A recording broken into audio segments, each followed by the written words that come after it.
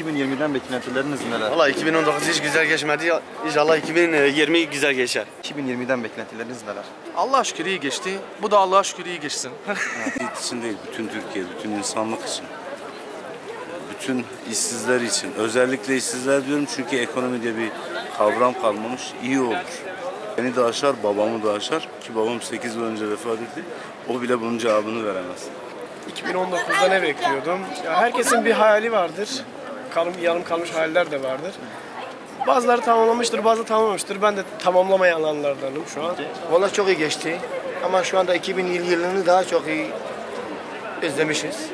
Bizim için çok iyi olur inşallah. Hayırlısı neyse devletimiz için en iyisi Allah kaza bela vermesin kimse. Beklentiler ne yönde? Beklentiler genellikle şu anda özellikle şey konuşuyor, asgari ücret konuşuluyor. Asgari ücret konuşuyor inşallah herkesin gönlüne göre Allah herkesin gö- gönlüne göre inşallah. Abi senin için nasıl geçti? Alalım. korkuyorum. Pek şey değil yani, pek güzel geçmedi. Ama yeni yıldan beklentilerimiz var. Huzur olsun, huzur.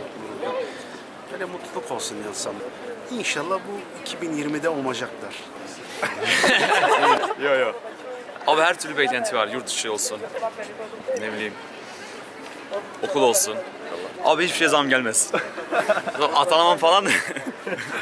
Atamasınlar, sigaraya da zam yapmasınlar. Sigaraya zam yapmasınlar. Süper. Elhamdülillah çok şükür.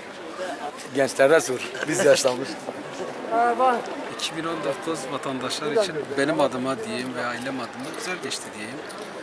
Ee, inşallah 2020'de insanlık için, toplum için güzel geçer.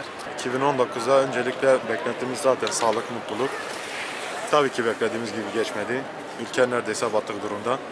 2020'de umudumuz yani sevdiği gençlere bir iş, bir iş olanağı, bir fabrika olur.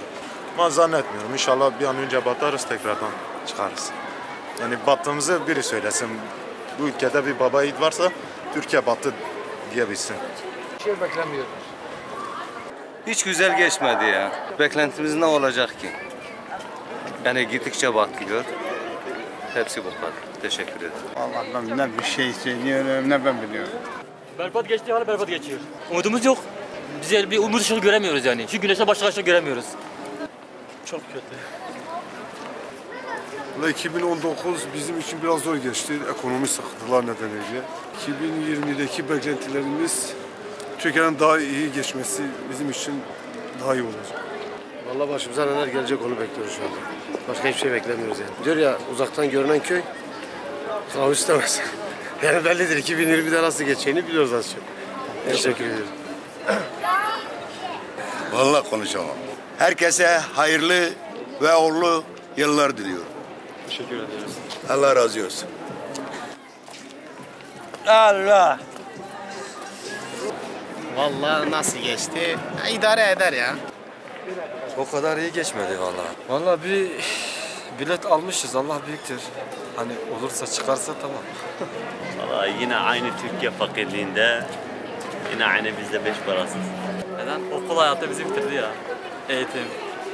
Ama 2020'den beklentilerimiz daha yüksek. İnşallah daha güzel Ne şeyler olacak. bekliyorsun mesela? Mesela inşallah dünyada güzel bir barış olur. Güzel bir eğitim sistemi gelir. Eğitimden daha iyi kazançlar sağlarız.